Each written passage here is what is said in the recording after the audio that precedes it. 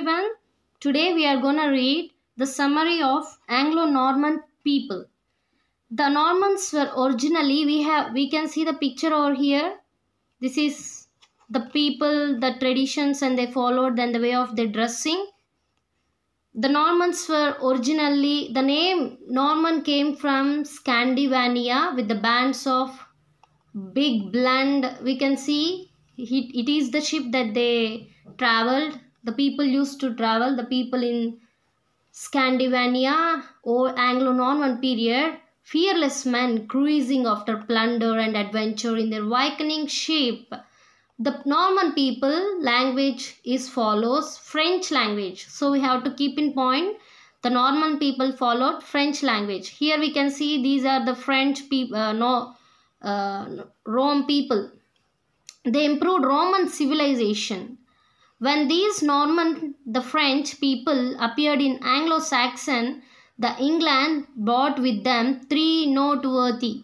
The first one is a lively Celtic disposition, a vigorous and progressive Latin civilization, and Romance language. Romance language. So we can see as previously we have said then this is the roman civilization we all know that romans constructions and they're very intelligent people and they're very good at ruling uh, and all uh, so they a lively celtic disposition vigorous progressive latin civilization and romance language at the battle of Hastings uh, that took place in 1066 the power of harold last of Saxon kings were broken and William Duke of Normandy became the King of England.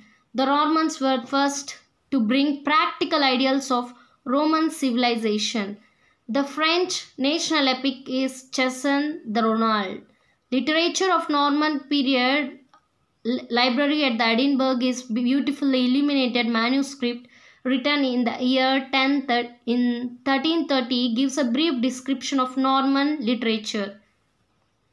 William of Malmesbury History and Anselm's and Cur Deus Homo and Roger Bacon's Opus Majus and beginning of the modern experimental sciences were written in Latin.